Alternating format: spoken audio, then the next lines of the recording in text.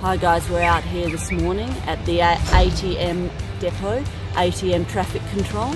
We're out here this morning because late yesterday this company sent a message to all its workforce telling them that they're all going to be sacked by next week and offloaded onto a labour hire company. What a start to the year. Here we are getting back to work, one of the most high risk jobs that I've ever seen. They decided at 6.30 at night after these brothers and sisters had done long shifts to say to them that we're going to start your new day off, you're going to labour hire, you're going to be put to a casual rate. Here's another company that thinks that they can sack their entire workforce just to bring them back in on, on lower pay and lower conditions by offloading them on a labour hire company. These companies are fucking vultures. They stand over them. This morning when I come out here, I had a bloke stand over me to tell me to go away and all the rest of it.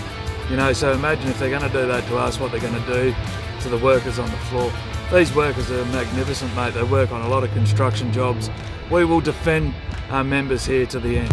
I want you to imagine getting an email from your boss with less than 12 hours notice telling you that you're sacked and you can have your job back as long as you come back on less money. So what we've witnessed here this morning is that as they go in one by one, the six or seven people from this labour hire company standing there intimidating them into signing this. We're not going to tolerate the people standing over our members telling them to sign ridiculous, absolute ridiculous contracts that takes away their pay and conditions. ATM, you better rethink your position because we're not going to tolerate it.